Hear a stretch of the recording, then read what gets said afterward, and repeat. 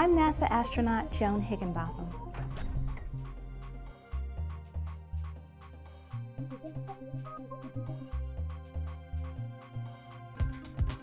I uh, always loved math and science, and I love uh, kind of electronics. I used to always putz around with the different things that at home, much to my parents' chagrin. So I, I guess without knowing it, I really was kind of drawn, drawn to both of those subjects.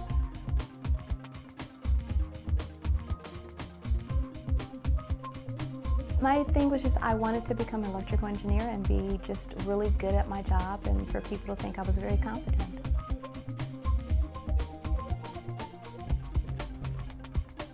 It was a fluke.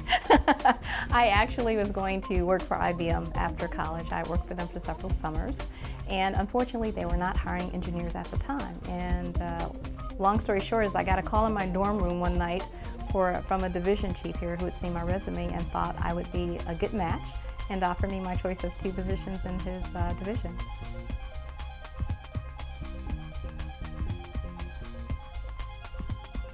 My biggest inspirations were my family members. I have an uh, incredible mom and dad and siblings who were very supportive and uh, they were always an inspiration to me because they always encouraged me to do my best.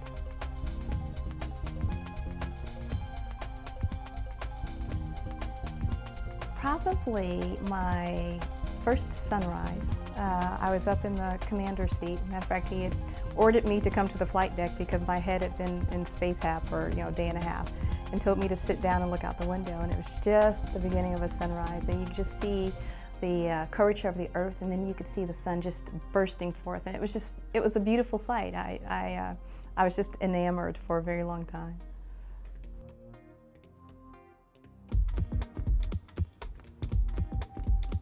It was probably one of my tensest moments when I was up there because you have this huge piece of equipment on this 70 foot long arm and it's worth billions of dollars. And the only thing you're thinking in, in, my, in your mind is, don't let me hit anything. And uh, when we didn't have a payload on the end of it, we actually had one of the crew members. And, and again, you have a precious life on the end of the arm. So you're just tense the entire time and just very, very focused about what you're doing.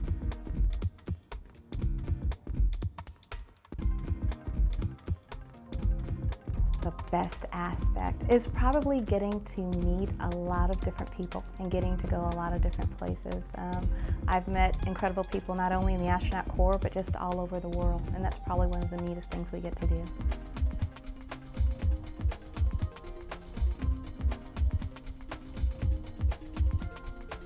I think everybody sees it as this great big like uh, Disney World ride for us and it's this wonderful vacation and they really uh, tend to forget that we are actually working really hard. I mean, from the time we get up there and unstrap to the time we come back, we are just moving at a pretty good clip.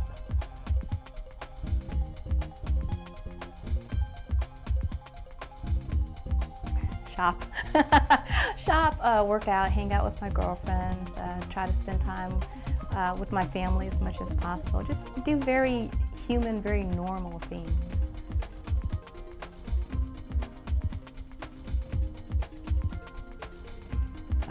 Know. I've been in this career for 20 years now, and it's pretty much been the only career I've been in. Uh, short of becoming the NFL commissioner, I'm not really sure what other uh, pathway I would take for my career.